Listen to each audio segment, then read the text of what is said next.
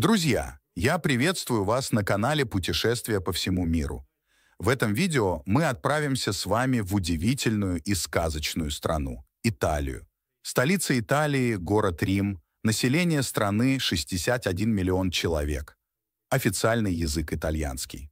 Друзья, если после просмотра этого видео у вас появится непреодолимое желание посетить эту удивительную страну, но у вас нет пока средств для поездки, не отчаивайтесь. Смотрите внимательно видео, и примерно в середине этого видео вас ждет сюрприз. Вы узнаете секрет, как можно довольно быстро заработать на эту поездку. Итак, отправляемся в путешествие.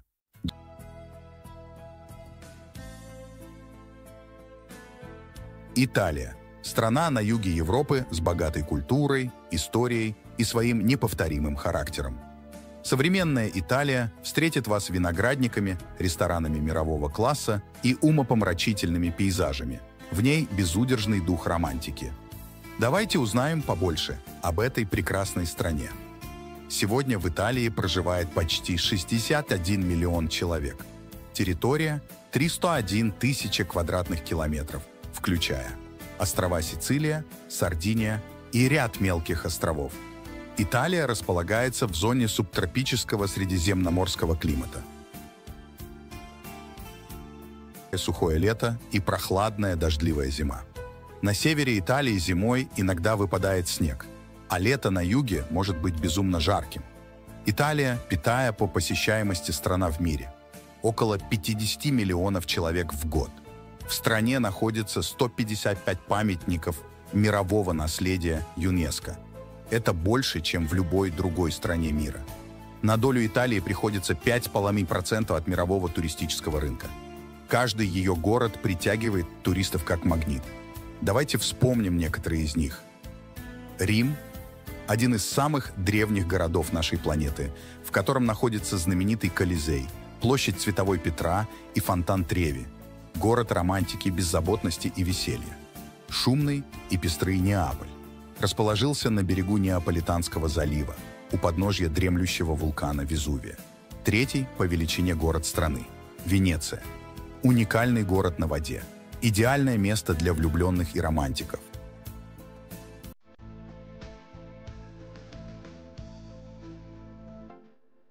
Флоренция – город-музей, родина итальянского ренессанса. Милан – столица моды и деловой жизни Италии считается самым нетуристическим итальянским городом.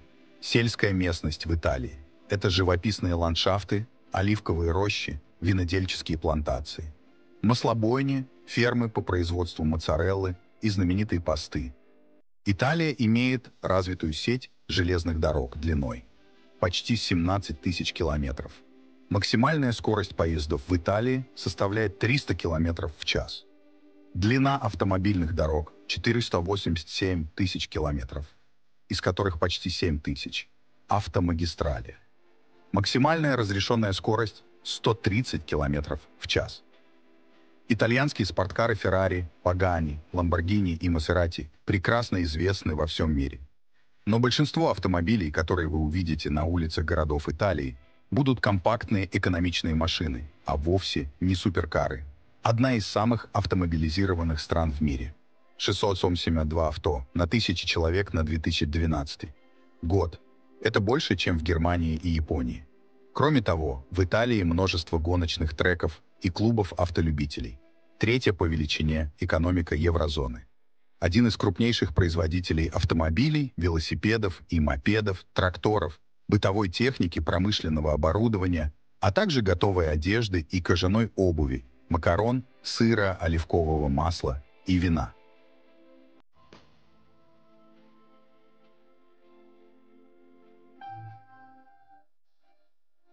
В то время как север страны индустриально развит, юг Италии хронически от него отстает, являясь преимущественно аграрным. Во многом из-за бюрократии и коррупции. Туризм в Италии составляет 12% от ВВП. Несмотря на высокоразвитую экономику Италии, работу в ТАО. В настоящий момент найти не так легко. Людям часто предлагают короткие контракты, нежели постоянное трудоустройство. Зарплаты по европейским меркам не самые высокие. Так, на июнь 2016 года средний месячный доход после вычета налогов составляет 1560 евро. Итальянское образование в целом не считается таким же престижным, как, например, британское или немецкое. Однако по тем специализациям, которыми Италия сильна, а это мода, дизайн и искусство, у итальянских вузов мало равных и в Европе, и в мире. Высшее образование в Италии стоит сравнительно недорого, особенно в государственных вузах. По мнению Всемирной организации здравоохранения, на 2000 год Италия занимала второе место в мире.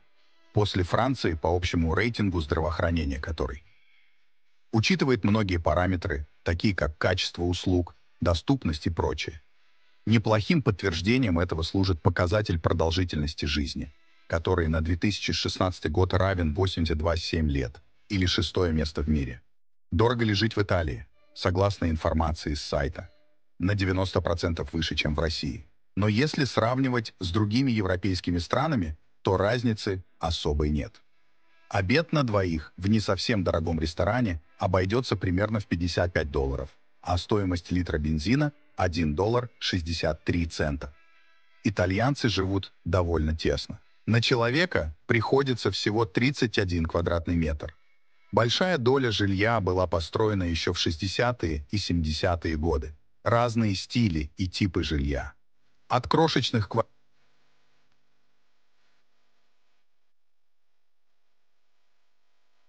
в которых итальянцы сушат белье на балконе, и окна которых могут выходить буквально в стены соседнего дома, до роскошных частных вилл с бассейнами и виноградниками. Уровень преступности в целом по стране не выше, чем в других европейских странах. Воровства и грабежей больше всего в Милане, Болонии и Флоренции. А юг до сих пор в большой степени под влиянием мафии существование которой так или иначе ощущают на себе 22% жителей, согласно опросам. Футбол можно считать национальным спортом Италии. Почти в каждом городе и селении есть своя команда. И, конечно, зимние виды спорта в Альпах и Апеннинах. Италию по праву называют домом мировой моды. Армани, Дольче Габбана, Гуччи, Валентина, Прада. Итальянцы обожают моду и стиль. Конечно, сегодня итальянцы, как и все современные европейцы, довольно демократичны в одежде. Но все подряд на себя не наденут. Итальянцы очень тяготеют в классике. Уделяется большое внимание аксессуарам. Итальянская обувь и сумки, шарфы и ювелирные украшения недаром знамениты на весь мир.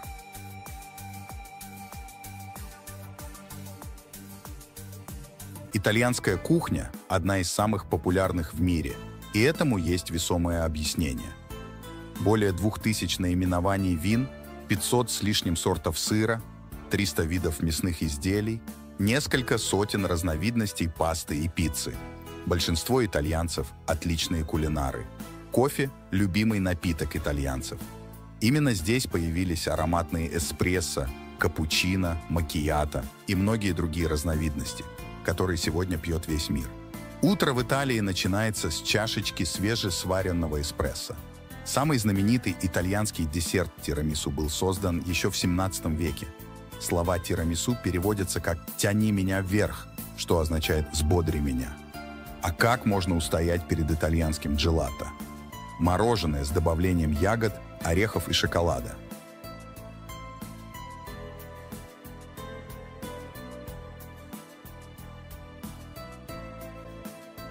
Более 95% итальянцев являются католиками. Центр католического мира, город-государство Ватикан, расположен в центре Рима. Итальянцы не могут сдерживать свои эмоции и любят громко разговаривать. Северные итальянцы отличаются от южных. Обитатели северных регионов ругают юг за бардак, грязь, нежелание работать и мечтают отделиться от всего, что ниже Флоренции а южане в ответ считают северян занудами и бессмысленными трудоголиками. Итальянцы известны своими тесными семейными связями. Если для американца главная – это карьера, то для итальянца – семья. И это основа социальной системы. Часто на работу берут именно по рекомендациям и знакомству. Многим нравится, как звучит итальянский язык.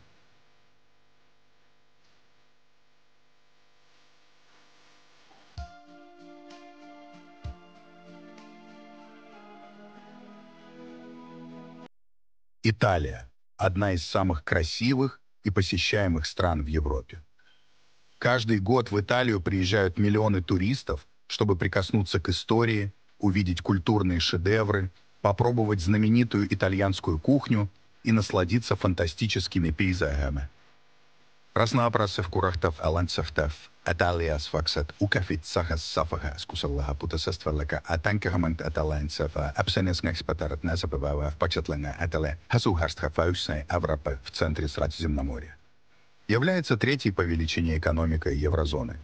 Граничит с Францией, Швейцарией, Австрией и Словенией. Также имеет внутренние границы с Ватиканом и Сан-Марино. Занимает Апеннинский полуостров, северо-запад Балканского полуострова, Паданскую равнину, южные склоны Альп, острова Сицилия, Сардиния и ряд мелких островов.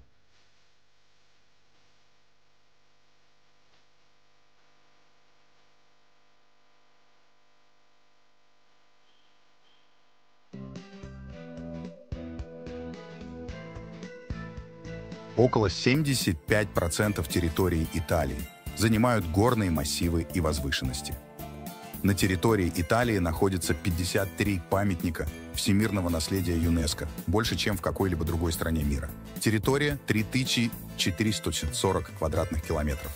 Население 60 782 тысячи человек. Государственный язык – итальянский. Столица Италии – город Рим. Протяженность.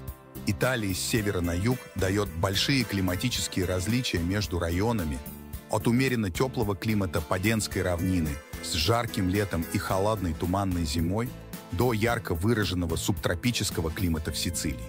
По большей части полуостровная и островная Италия расположены в зоне средиземноморского климата, который, кстати, считается одним из лучших и наиболее комфортных для человека. Рим – столица Италии и древняя столица Римской империи. Невероятно красивый, колоритный и шумный этот город – всегда был и будет в списке самых посещаемых туристами.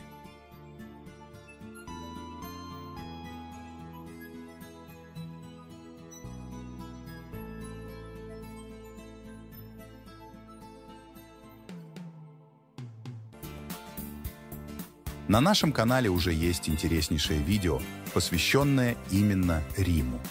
Поэтому в этом видео не будем тратить время и повторяться. Ссылка на наше видео об этом прекрасном городе будет в описании и вот здесь вот. Обязательно посмотрите. Не узнав Рим, не узнаешь Италию. Милан, второй по численности населения город Италия, является деловым, научным, торговым и промышленным центром страны. Милан расположен в северной части Италии, в регионе Ломбардия.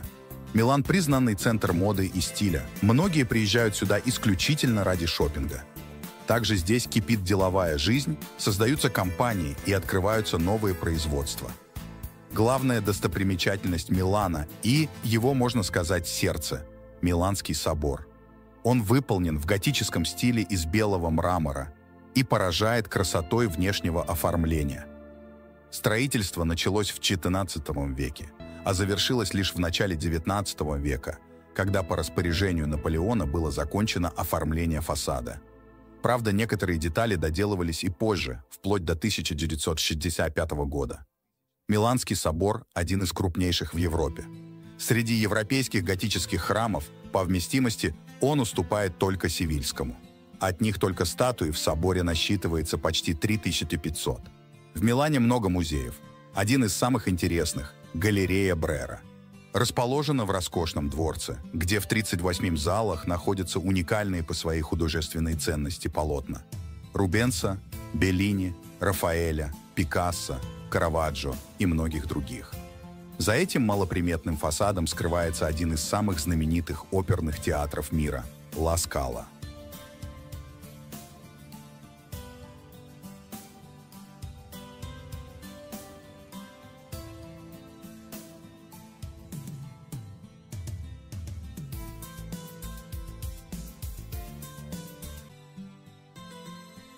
А вот внутри театр поражает роскошью и помпезностью. Помещения отделаны позолотой, бархатом и фантастической лепниной. Все посетители отмечают прекрасную акустику, Музыку и пение актеров хорошо слышно в любом уголке зала.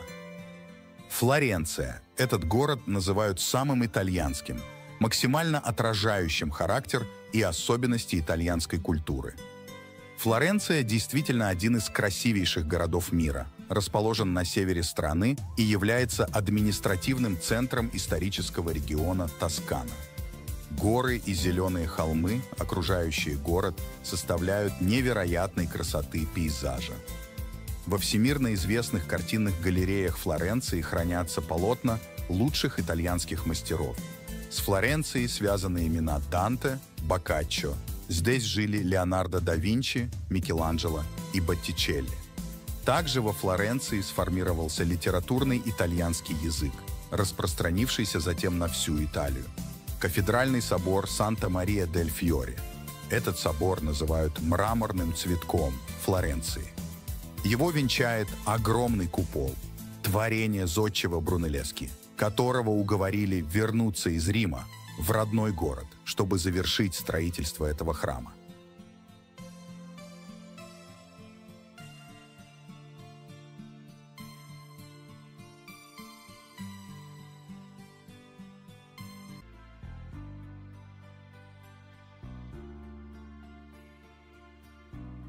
Так как другие архитекторы не смогли исправиться с этой задачей. Путешествие в Италию – это прекрасная история. А чтобы сделать эту историю еще и выгодной, обязательно воспользуйтесь кэшбэк-сервисом Letyshops. Благодаря Letyshops вы сможете вернуть обратно часть своих денег, потраченных на перелет, проживание в отеле или покупки в интернет-магазинах – и на эти сэкономленные деньги прикупить себе хороший сувенир из солнечной Италии. С сайта Letyshops переходим на Booking и выбираем понравившийся отель, бронируем и получаем обратно 3% от той суммы, которую заплатили за отель. Все просто. Что для этого нужно? Самую малость. По ссылке переходим на сайт Letyshops, быстренько регистрируемся и получаем свой личный кабинет, в котором и будет отображаться ваш кэшбэк. В базе Letyshops свыше 2000 магазинов, и вы точно найдете тот, который вам нужен. Вывести деньги очень просто – на банковскую карту или электронный кошелек. Для того, чтобы не забывать про кэшбэк, устанавливайте умное расширение от Letyshops, которое мониторит самые выгодные цены и рекомендует самых надежных продавцов. Приятных всем покупок и большущих кэшбэков. Ссылка в описании.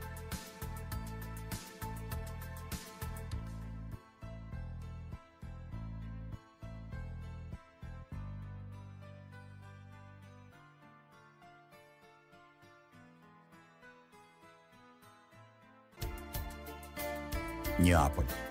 Третий по численности населения город и столица административной области Кампания. Расположен у подножия легендарного вулкана Везувий. Неаполь сочетает в себе черты современного мегаполиса и памятника археологии под открытым небом. Неаполь – город южный, шумный и полный жизни. Неаполитанцы разговаривают на собственном отличном от литературного итальянского языка диалекте – Город расположен на берегу Неаполитанского залива. Свою долю непредсказуемости вносит Везувий и землетрясения.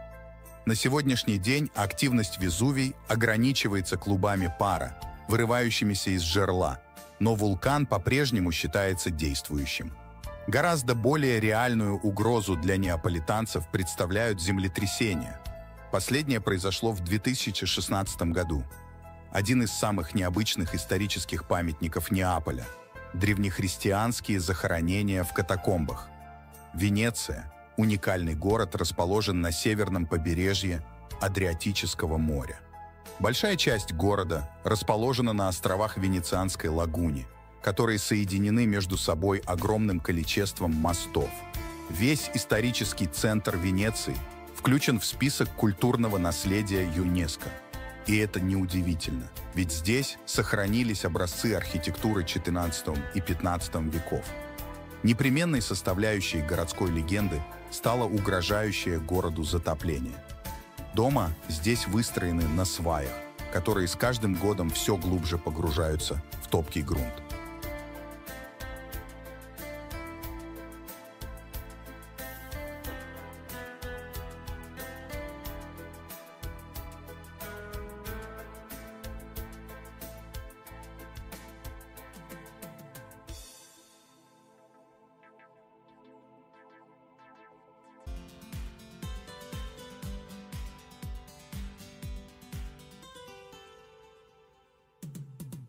Еще большей опасностью грозит повышение уровня мирового океана и участившееся наводнение.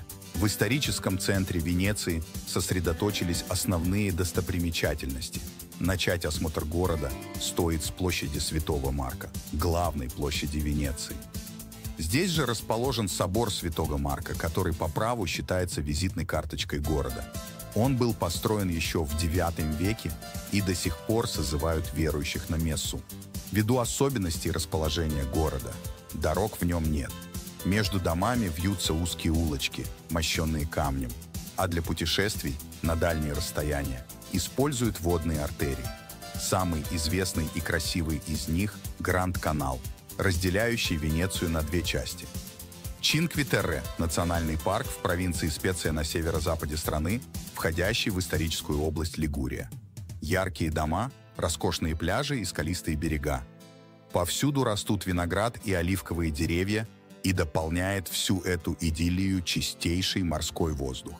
В Чинквитерре на склонах холмов, спускающихся к побережью, соседствуют пять средневековых городков – Вернаца, Монтероса, Корнилья, Моноролла и Рио-Маджоре.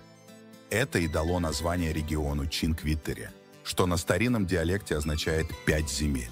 Друзья, чтобы вам вести беззаботную жизнь, наслаждаться красотой природы в выбранной вами экзотичной стране, вам нужна финансовая независимость. Вы легко сможете зарабатывать с помощью нейросетей. Это тренд заработка на ближайшие годы. На нашем канале «Заработок на нейросетях» вы найдете самые новые и денежные нейросети. Также с помощью обучающих видео вы научитесь на них зарабатывать. В любой стране вам нужен будет только интернет, телефон или ноутбук. Ссылку на канал «Заработок на нейросетях» вы увидите под этим видео. Thank you.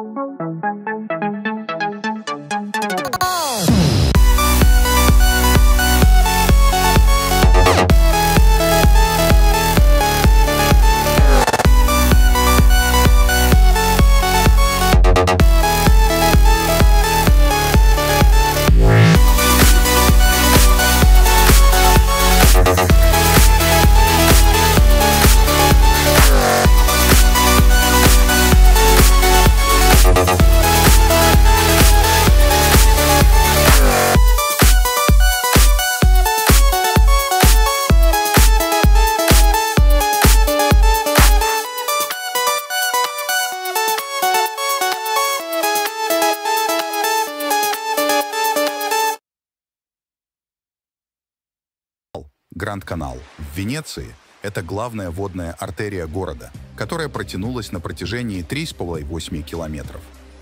Он является главным водным путем, разделяющим город на две части. Гранд-канал является важной частью венецианского транспортного и культурного ландшафта, увенчанный множеством великолепных палаццо, церквей и домов, строенных в различных исторических стилях. Он также известен своими красивыми мостами, такими как Риальто и Академии. Гранд-канал является важным туристическим объектом, и прогулки на гондолах по его водам позволяют оценить величие этого исторического места. Дворец Дажей, Палаццо Дукале, в Венеции – это величественное здание, служившее как резиденция для венецианских дажей, глав государства Венецианской республики. Расположенный на площади Святого Марка, он является одним из важнейших памятников венецианского готического стиля. Построенный в XIII веке, дворец претерпел множество изменений и дополнений в течение веков. Внутреннее убранство дворца богато декорировано произведениями искусства, включая работы таких мастеров, как Тинторетто и Веронезе. Сегодня внутренние помещения дворца открыты для посещения как музей – где можно узнать больше о политической и культурной истории Венецианской республики. Друзья, если вам понравилось это видео, пожалуйста, подпишитесь на канал «Путешествия по всему миру». Мы будем вам благодарны за ваши лайки, комментарии и пожелания о том, в каких странах вы еще хотели бы побывать. Это поможет нам дальше создавать для вас актуальные видео, а также поможет в продвижении этого видео. До встречи на канале!